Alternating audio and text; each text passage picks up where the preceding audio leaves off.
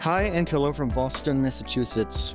Oliver Freudenreich, Dr. F here for the Psychopharmacology Institute. In this quick take today, we're going to look together at the link between obsessive compulsive disorder, OCD, and clozapine.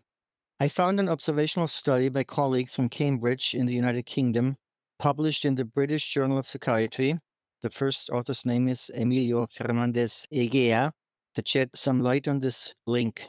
Let me first give you some clinical context for this study and why I think it's an interesting study. If you are using clozapine, you may be familiar with this clinical dilemma. You start somebody on clozapine, their psychosis gets better, but at some point, even many, many months later, the patient or a family member start complaining about obsessive thinking and increased checking behaviors.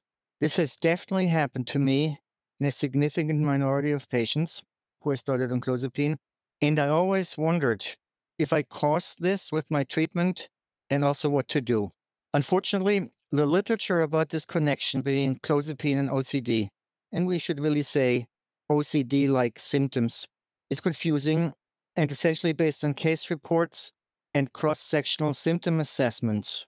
Depending on the exact cohort, you will find high rates of comorbidity in the literature between schizophrenia and these OCD like symptoms, with the highest rate of up to 50% reported in samples treated with clozapine.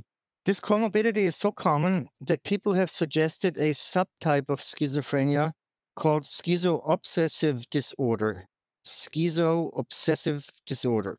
The problem in interpreting this comorbidity and the clozapine connection is a bias that is called confounding by indication. We know that the more severe the psychotic illness, the more you will find OCD like symptoms. And it is exactly this group of patients that will then be treated with clozapine, creating this seeming link between clozapine and OCD like symptoms. On the other hand, it is not absurd to postulate that a medication could cause OCD, given that we use pharmacological interventions to treat OCD, particularly, as you know, SSRIs, which in a simplistic model increase serotonergic function. Anti-serotonergic agents like clozapine that blocks 5-HT1A receptors may then conceivably modulate brain circuits in such a way to bring about obsessive compulsive symptoms. Let's now look at the study, which was a naturalistic observational study that adds to the literature by using a longitudinal design and not just a one time cross sectional symptom assessment. The authors had access to a clinical and research database of routinely collected clinical data from a clozapine clinic of 254 patients, including clozapine blood levels and rating scales for psychosis severity and OCD severity that were completed every two years or every year, respectively. Their final sample included 196 clozapine patients because not all patients had completed data for OCD and psychosis severity in particular, so about 200 people, a decent sample size.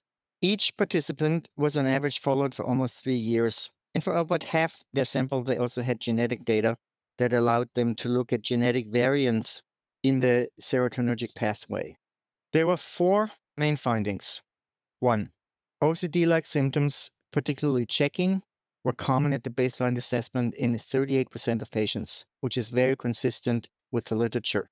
Two, Psychosis severity mm-hmm. correlated with OCD like symptom severity, which is also consistent with the literature. And this is new. Three, the effect of psychosis on checking behaviors was indirect and really mediated via obsessive thinking. That suggests that psychosis per se does not lead to compulsive checking. You do need these obsessions.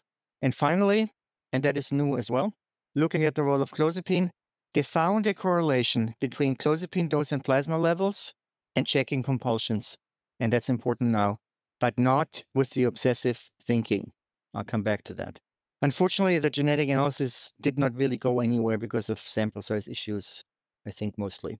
Now, initially I was excited because I had assumed that this cohort study had data before and after clozapine initiation. That is actually not the case. All patients were on clozapine at baseline. If I interpreted the methodology correctly. So I think we're still unsure if clozapine can induce OCD de novo. And if it does, how common it is. Honestly, I also think the clinical evaluation and distinction between psychosis and obsessive thinking can be quite difficult. And that is a factor when we study symptoms in a cohort of fairly ill psychiatric patients longitudinally. Let me suggest two considerations here. And if you think about it with me phenomenologically, obsessive thoughts and thought insertion are both intrusive thoughts from the patient's perspective, experiences that are perceived as unwanted thoughts by the patient. Only the interpretation of the origin and the cause will be different. In obsessions, the intrusive thoughts are experienced as dysphoric and being a product of their own mind. In psychosis, the intrusive thoughts are experienced as coming from the outside and maybe even caused by an entity like the government.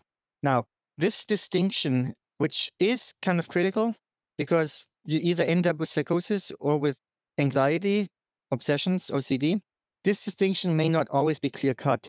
And people with severe OCD and no insight, for example, can look rather psychotic. It is an important diagnostic consideration, in fact. To make it more complicated, I think some amount of checking is also very common in people with schizophrenia due to cognitive inflexibility, which then gets called obsessive. Sometimes these personality traits are mm-hmm. long standing and not new at all, but they are overshadowed by psychosis and then they get uncovered, if you will, as the patients get better and then people are able to pay attention to other things and not just the psychosis. I still like the study as it suggests the following. There are actually two phases for OCD like symptoms in psychosis. The first phase is an understandable goal directed checking for safety that is part of florid paranoia that you and I would do. Is the door locked given possible intruders? Is a sensible concern if you're paranoid. It's not a habit. This first phase of paranoid concern and related checking is unrelated to clozapine. As people become less psychotic, the psychosis related safety behaviors disappear in many patients, but not in all patients who continue to check in response to what now are more obsessions and compulsions, since the paranoia is gone and these safety checks are no longer be necessary. You could say that the checking that was understandable and made sense during a time of florid psychosis can become habitual and is no longer sensible. And it seems to be, based on the study, that in the second phase, that clozapine may contribute pharmacologically by facilitating the formation of this habit of compulsive checking. This is my clinical bottom line. If that two phase model is correct, a clozapine dose reduction, if clinically feasible, may be helpful so that you interfere as little as possible with habit reversal training to undo this checking behavior that initially was triggered by paranoia. The model would also suggest that just being off clozapine would not simply make the checking behavior go away, as it really represents a learned habit that has to be unlearned. You would still need to treat it separately with habit reversal training. I usually clinically reduce the dose of clozapine to the extent possible and then and then and, and, and then treat to make it maybe a little bit easier. Thank you for listening to this quick take today.